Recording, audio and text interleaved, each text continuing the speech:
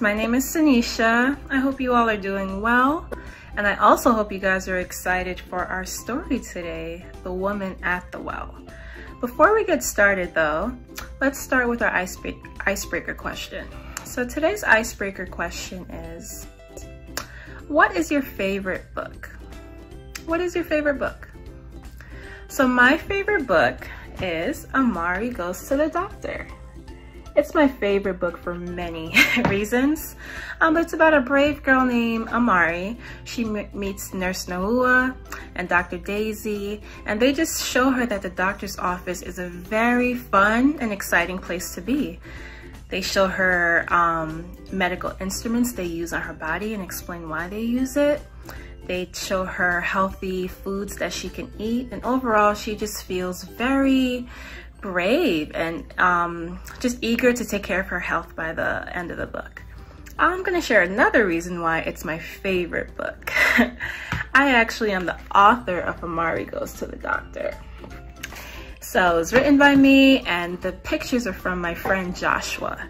So I hope you guys enjoy the story or get a chance to read the story at some point and know that the doctor's office is a very safe place to be and fun.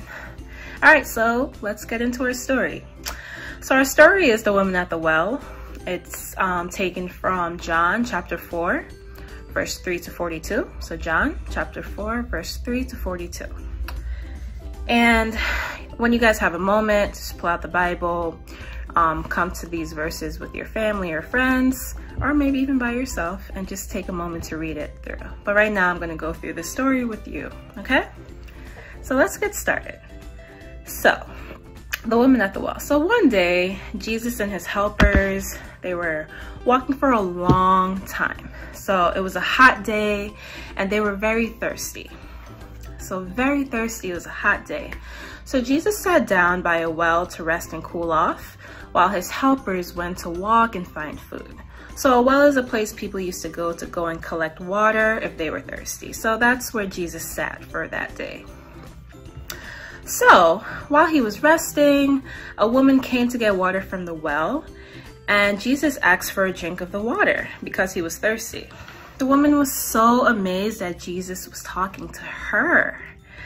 Um, so Jesus started telling her many of the things she had done, and she was surprised that Jesus knew so much about her. So can you imagine this woman comes to the well to get water you know, like any other regular day.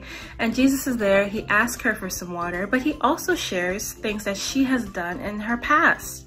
And she's never met him before in person. So she was so surprised. Um, Jesus also told the woman that he was the savior that um, God promised um, to send to forgive her for all the wrongs that she had done. So here what he's saying is God has sent Jesus to her. And with him being there, he was there to acknowledge and share with her that I know you've done good, I know you've done bad, but God has sent me here to forgive you for all the wrongs that you have done in your life.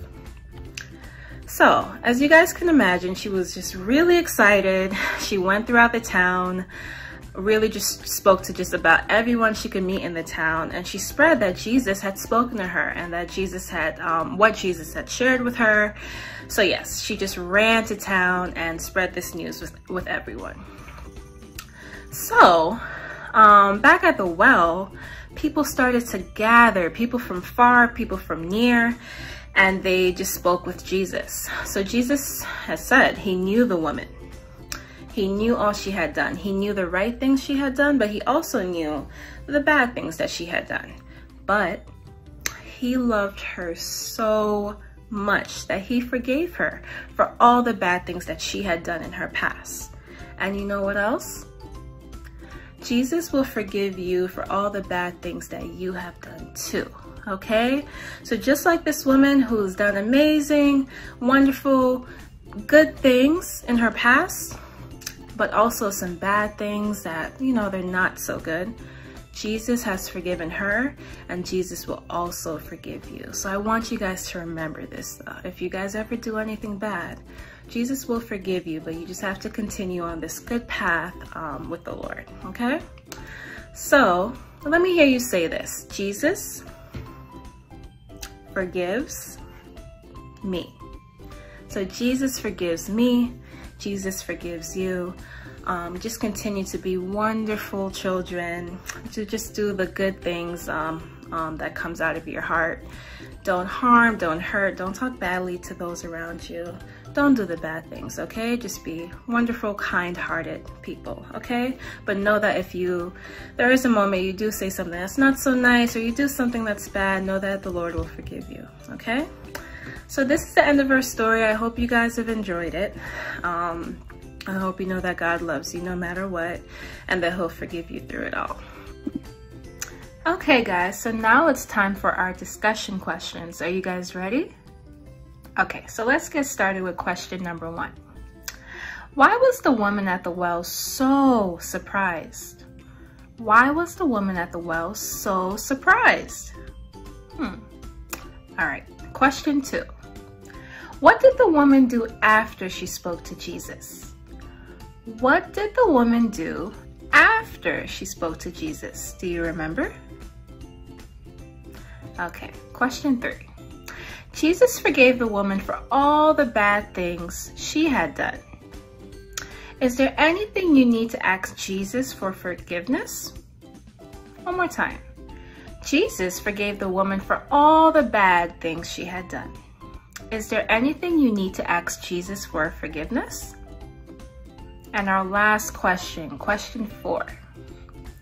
Just like how Jesus forgave us, Jesus wants us to forgive others too. Is there anyone that you need to forgive? I'll ask one more time. Just like how Jesus forgave us, Jesus wants us to forgive others too. Is there anyone that you need to forgive? Take a moment to answer these questions. Go over the story with your family if you need help again. And I would love to hear your answers. I would love to hear who you would like to forgive or if there's anything that you would like Jesus to forgive you for. Hope you guys enjoyed the discussion questions this week. And now it's time for the memory verse. So our memory verse can be found in, in John chapter 4, verse 14. And it says, but whoever drinks, but whoever drinks the water I give them will never thirst. Indeed, the water I give them will become in them a spring of water welling up to et eternal life. So take a moment to read this again throughout your week. And I'm just gonna close this all off with a prayer for you all.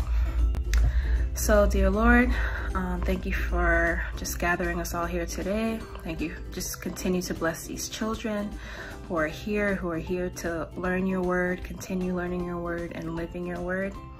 Protect them, protect their families, and just tell them that you are there with them. You are there to fill them. Um, you are there to fill them um, with your love and your mercy and let them know no matter what it is that they do, the good or the bad, you will forgive them through it all. Let them continue to listen to your word. Let them know that as long as they continue to listen, you will be there to give them that eternal life and that fulfillment that will just take them throughout it all, through, through it all. Thank you, Lord, for protecting us, guide us all through our week. And um, we love you. Thank you for your mercy on us all. Amen. All right, guys. Well, we are done today. Hope you've enjoyed it and have a wonderful week.